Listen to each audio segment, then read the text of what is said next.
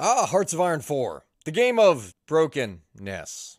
There are so many nations in this game which it is really easy to break the game with, but I have a personal favorite. And no, it's not America. No, it's not you, funny mustache man. And no, it's not you, bigger mustache man. My friends, it is Mexico. Mexico is, in fact, one of the most, if not the most, broken nation in the entire game. And honestly, though I say broken, it's like it it I kind of it kind of starts off broken in more way than one. But no, we are going to break Mexico in a great way. And today, my friends, I'm going to show you how you can make the greatest superpower the world has ever known out of Mexico. Now, Mexico at the beginning of the game starts out with a both good and also simultaneously shit position. The government is nothing more than a series of corrupt officials and a lot of bullshit. We have a grand total of two research slots, a weak industry with five usable factories, but actually a decent sized army, of which a lot of them are missing a lot of guns. And the majority of them are like three dudes with two guns between them. So the first thing we gotta do is actually get some research and production going. Because Lord knows we're gonna need to produce a lot. Next step, the normal protocol would be to build civilian factories in the beginning, but we actually need to produce as many mill factories as we possibly can in the beginning. Only the land is kinda shit and doesn't want to seem to build anything anywhere. The next and biggest thing that we're gonna do is we're gonna take our entire army, and we're just going to go ahead and delete the majority of it. Now, you may be looking at me wondering why? Why would you do this? Why would you delete your entire army? Well, we're kind of really behind on guns.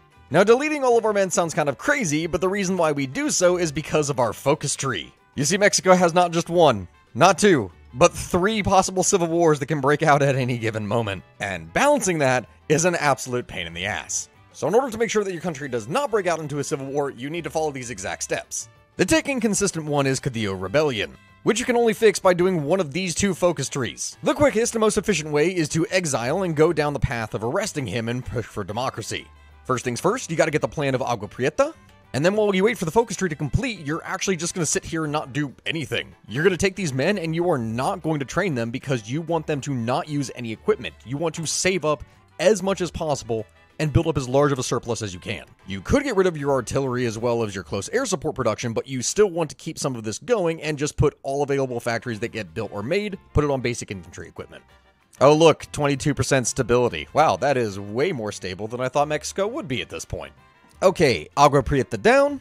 Now it's time to exile Calles, because that is immediately going to get rid of Callistas, which is a absolutely terrible effect. We are getting a grand total of 0.42 political power per day.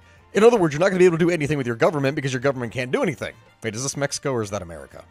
And now, once this is done, you could go down the path of purging the bureaucracy and just arrest General Cedillo. If you do so, that will get rid of this immediately, but you don't need to worry about this because this is not going to cause a rebellion.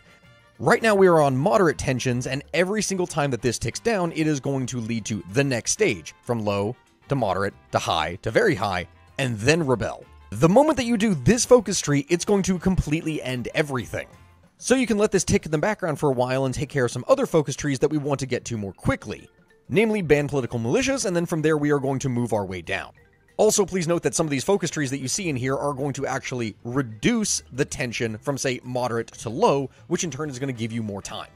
In my opinion, Revolutionary Women is actually much better because it not only gives you three free civilian factories, but simultaneously the next one after that is going to give you two free military factories.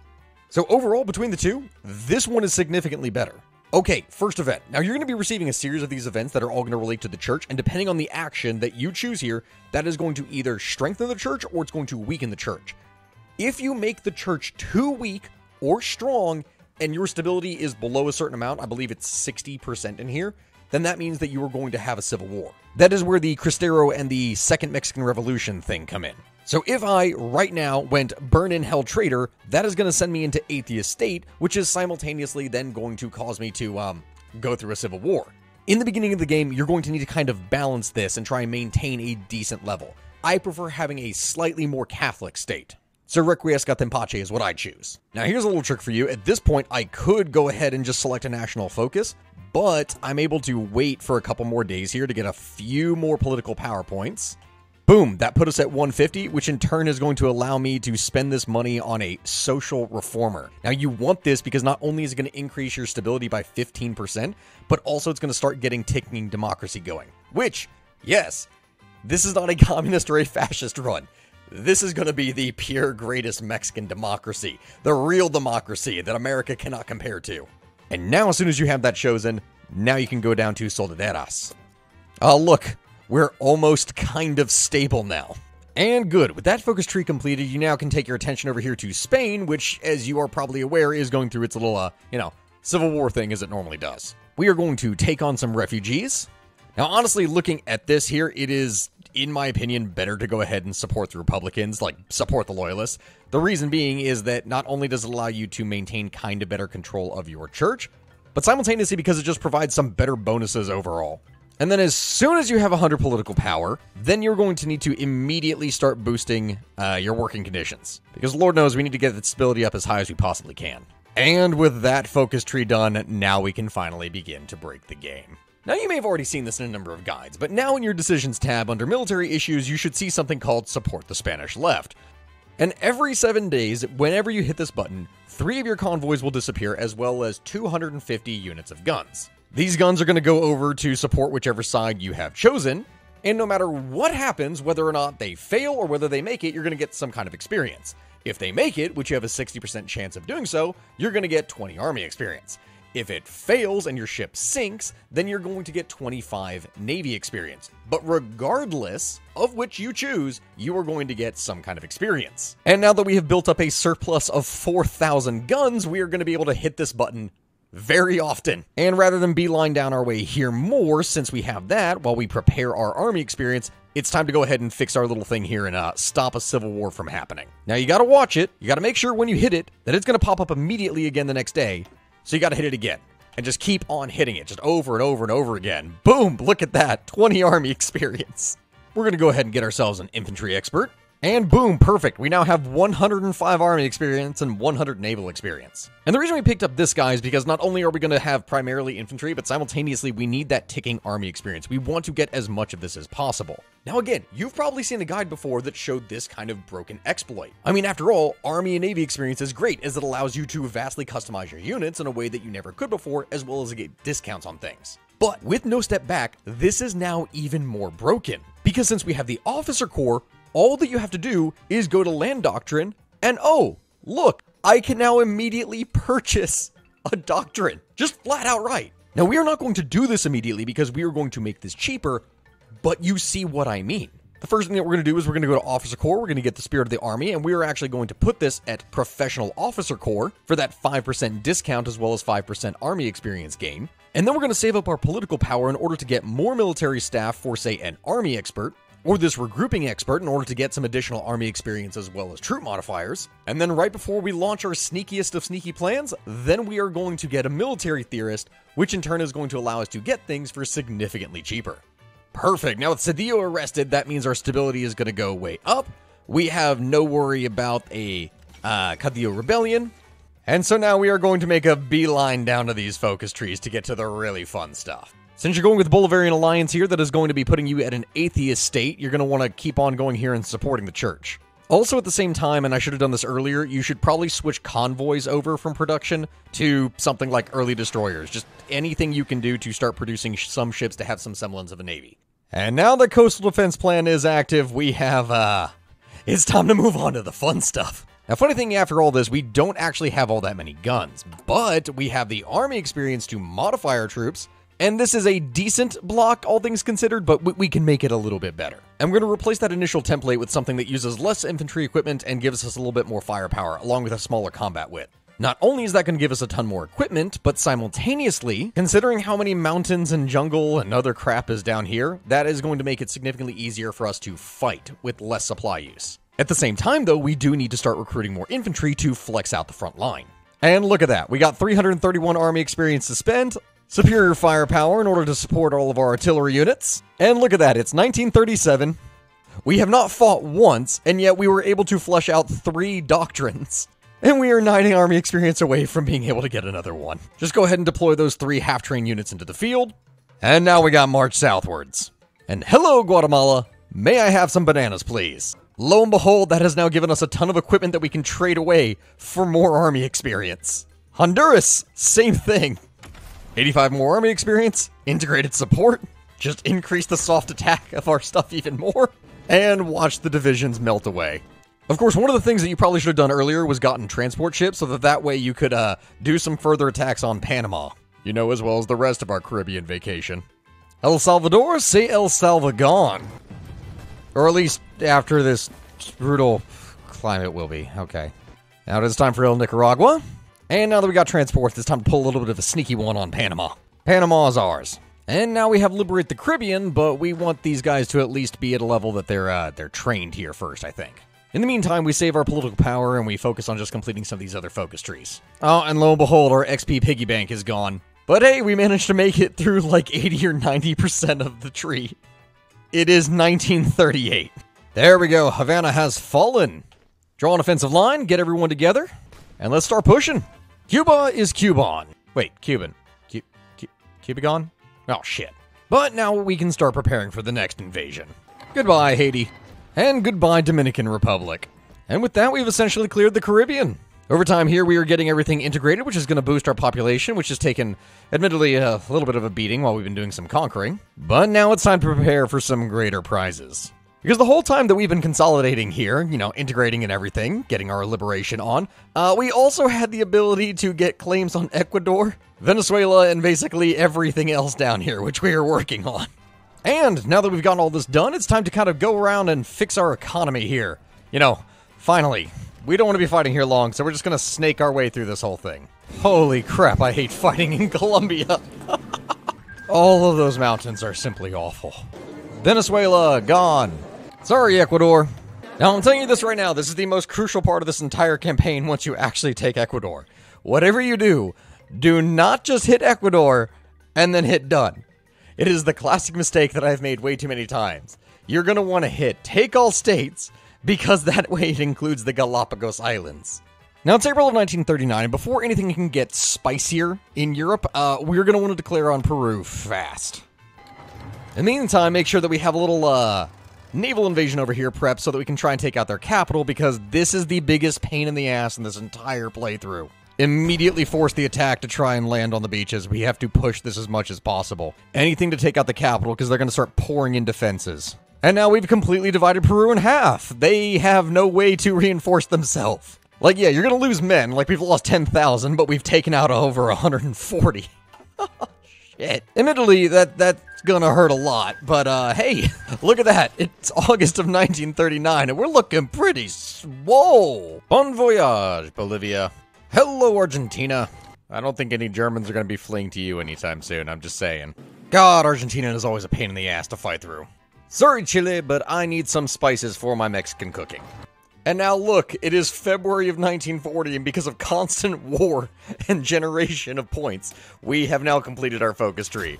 Shock and awe, baby. Mexico, 1940. Like a chimichanga going through the toilet. And I know I've said this before, but Uruguay is Oregon. Now, the big thing is we need to start preparing to take out the United States as soon as possible. And if you're wondering why, it is because the year is 1940, and. Oh, well, they are starting to build up a bit of an army. But before we can get to the really spicy stuff down in Panama, we need to get some more troops in here fast. Which is why, even though we didn't go down support General Cedillo, we are at least going to go over here to the private armies to get an extra 1% population. Because Lord knows we're going to need it. Well, now it's time for the really fun stuff. Operation Just Cause? Okay, shit, well, we took it. Let's see if they actually decide to declare war. oh, that is a lot more than I anticipated that they would actually attack. Okay. Oh, and it looks like the submarines we built are starting to do some damage around here. I mean, we're going to lose convoys ourselves, but luckily we've gotten over a thousand from all the conquering we've done. Now what we're going to do is use our very fast, very quick moving artillery and then just create all these little encirclements everywhere we can go. Because we don't need this land, we don't want it, we don't really care about it, but this allows us to just do all these little encirclements and kind of uh, finish things off from this side. God, that is not looking very uh, even over here. The more that we can wipe out and clear down here, the better, because the US is just going to be able to just spawn out divisions. We can't overwhelm them with sheer numbers at this point. This is the game, microing slowly, gradually, just trying to gain any ground that I can, because otherwise I'm not going to be able to hold anything. What are we at? We've lost 30,000, but we've killed 250! Okay! Oh, Japan has now declared war on the Philippines. Is that going to make America join the Allies? Well, maybe this is going to cause them to have to move a bunch of their troops over. But in the meantime, while all this war is happening, you know we can find the good in things. We can find Christ. Time to go Catholic. There we go. Okay, that's another group. The funny thing is, despite destroying all these units, they're still cranking out more because it's the it's the United States. There we go. Okay. It's more troops trapped around Houston. That's exactly what I want. Alright, we gotta let our line kind of reform up because it's not looking so hot right now. Well, it is finally time to take Belize then, so we can reclaim our territory. Okay, at least we're kind of contesting things over here now. The line is getting pretty damn thin. Hey, wait a minute. Wait a minute. Where did all the US troops go? They're getting spongier. God, and they're just stacking units down here waiting to be killed. Okay. There we go. There's another unit trap. Just isolate and destroy every single one that we possibly can. This is going to have to make them extend their lines out further, which in turn is going to allow us to start to take them out piece by piece. The majority of these troops are going to hold the line. Meanwhile, the massive amounts of trucks that we've recruited are going to be the ones doing a lot of the movement now. This is literally all that it is. You're not going to be able to overwhelm them with numbers, so you just have to isolate and destroy as many units as you possibly can. God, 200,000 Hermanos have fallen, but we've killed one and a half million Americans. Alright, I think that they're spongy enough that we can take a crack at it, so why not? Let's see what we have. Oh my god, that is a lot of green. We're taking it. It's gradual, but we got this. You know, it's only several hundred thousand of us dying here. Nothing really big, I'd say. And look at what we can do now. Redeem Aztlan going to cost us 300 political power, but we're going to get cores on all of this, which is going to be nice. Oh god, and we're veering all the way up into Canada. Well, looks like we got to get... I don't think we're to make it. We got to get some more manpower. Because Lord knows they're not to make it here. I just need this focus tree to complete. Why does it take 210 days? Oh, I need manpower. Washington, D.C., hello. How many men have I lost at this point? 600,000. Holy shit. Okay. Oh! And everyone, El Diablo está muerto. Now let's just go ahead while they're stuck and not able to do anything. And just take out all the little points in Canada we can, because it's not like they can resist us. All their troops have probably disappeared. And now Canada is gone too. Okay. That is looking exceptionally thicker than I had anticipated. Oh, Redeem Aztlan is done. Oh, look at that manpower now. Okay. Fall of New South Wales. Whoa, what is... Oh my god, Japan! And this is what sucks. I have no way to actually naval invade England and end this war, so we gotta go the old-fashioned way. Alright. Leif Erikson, coming in, but this time reversed. Alright, boys, here we go. Time to bring the British some spices. Hello, Britain. Can I interest you in some actual flavoring for your food? There we go! Everyone, look at that! The Mexican Republic with the most war score taking out the Allies. Welcome everyone to the peace of Europe. So, we made sure to replace French food with something that is properly spiced, and we made sure to actually add spice to, well, am I gonna call it food? Ah, you know what, we'll leave it as is. But everyone, I give you the Mexican Republic. The most overpowered bullshit in the entire world. Everyone, I love Mexico. This has been a Mexico playthrough. Uh, thank you, everyone who has watched. I'm not even going to bother anything with the Soviet Union. I've done my piece. I've done my piece. Thank you to everyone who has watched, and please let me know in the comments below what it is that you'd like to see next. I appreciate all of you for joining in, and that's it. I hope you have a good rest of your day, and let's, let's probably do something next time that doesn't take nearly as long. Bye, guys.